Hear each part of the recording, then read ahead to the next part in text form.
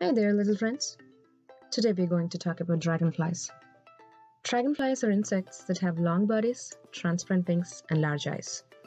There are about 5,300 species of dragonfly. Like all other insects, they have six legs, a thorax, a head, and an abdomen. The abdomen is long and segmented. A dragonfly starts its life by hatching from an egg under the water. They shed their outer skin many times while growing underwater. After almost three months, they leave their underwater home for the last time.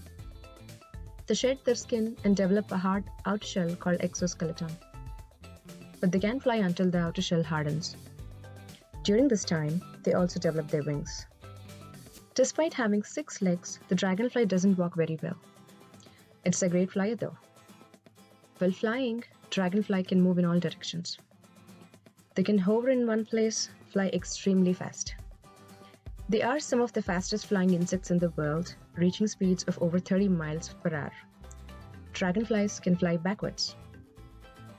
Dragonflies can move each of their four wings independently, which gives them their flying capabilities. Dragonflies have tremendous eyesight. Their compound eyes are very large and have up to 50,000 individual lenses. Their eyes wrap around the top of the head. As a result, they have a wide vision. They can see almost everywhere at once. Dragonflies come in a variety of colors, including blue, green, yellow, and red. They are some of the most colorful insects on the planet. They also come in range of sizes from half an inch to over 5 inches. Dragonflies live throughout the world. They like to live in warm climates and near the water. They don't sting and generally don't bite people.